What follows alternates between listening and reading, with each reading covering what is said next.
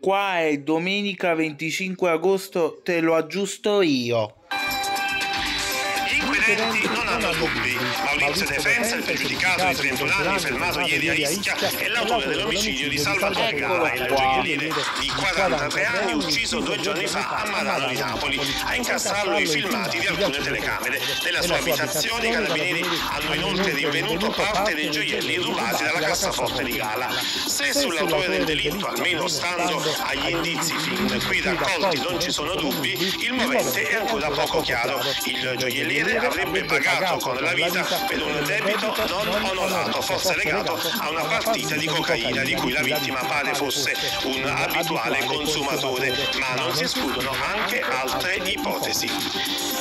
Era lo specialista della logistica del traffico di droga tra Italia e Spagna e aveva organizzato lo spostamento di 1250 kg di hashish e marijuana facendoli nascondere in doppi fondi ricavati su articolati. Nel giugno scorso i carabinieri del nucleo investigativo di Napoli lo avevano arrestato insieme a 16 complici con l'accusa di associazione finalizzata al traffico degli stupefacenti.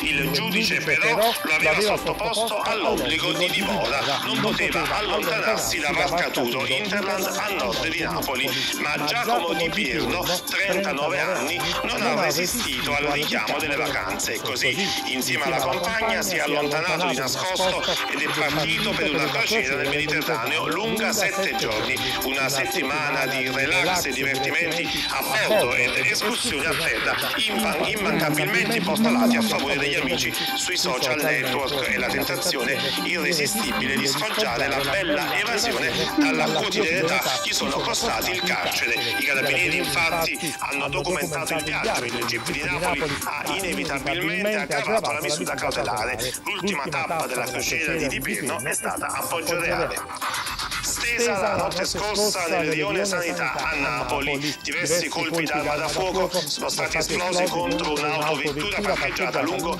via San Vincenzo alla Sanità. Sulla vicenda sono in corso le indagini da parte della polizia. Gli uomini della scientifica, recatisi sul posto, hanno eseguito i primi rilievi.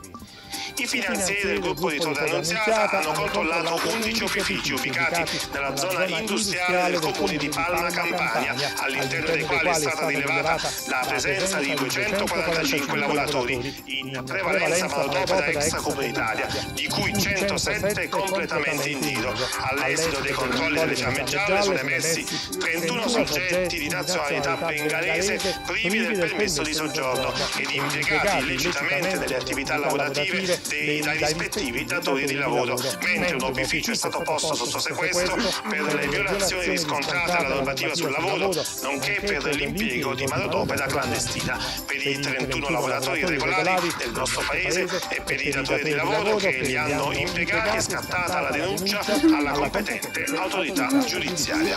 Il Consiglio dei Ministri, sul proposto del Ministro dell'Interno Marco Minniti, ha deliberato lo scioglimento di quattro consigli comunali, uno in Campania e tre in Calabria, per accertati condizionamenti dell'attività amministrativa da parte della criminalità organizzata.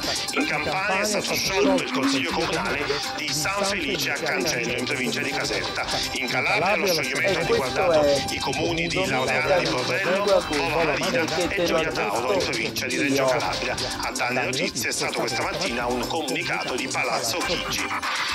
Chiuderanno le scuole superiori del Casertano a causa della crisi finanziaria in cui versa la provincia, ente in dissesto e senza soldi in cassa, incapace di provvedere alla manutenzione degli istituti e delle strade, nonché di pagare gli stipendi ai propri dipendenti. Lo ha annunciato il presidente facente funzione della provincia di Caserta, Silvio Lavorgna. Saranno chiusi tutti gli edifici di competenza provinciale che ospitano le scuole superiori e che risultano senza le necessarie autorizzazioni prescritte dalla normativa in materia di antincendio, agibilità, staticità e sicurezza sul lavoro. Di ciò è stata informata anche la direttrice dell'ufficio scolastico regionale della Campania, Luisa Franzese, per l'adozione dei provvedimenti di propria competenza.